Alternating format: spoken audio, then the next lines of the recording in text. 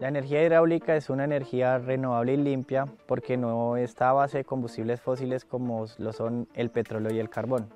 Eh, está a base de recursos que se renuevan ilimitadamente como en este caso el agua. Para esto vamos a hacer un símil con eh, los seres humanos cuando nos comemos una manzana, es para extraer la energía que nos da esta manzana y poder, digamos, cumplir con nuestras funciones diarias. El desecho de esta manzana nosotros lo reutilizamos para sembrar un árbol y este árbol a su vez nos va a dar más manzanas.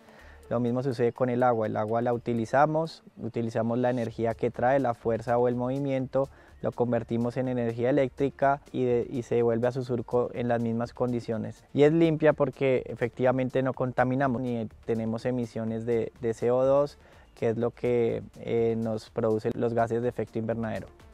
En EPM trabajamos 24/7 generando energía limpia, segura y confiable para el país.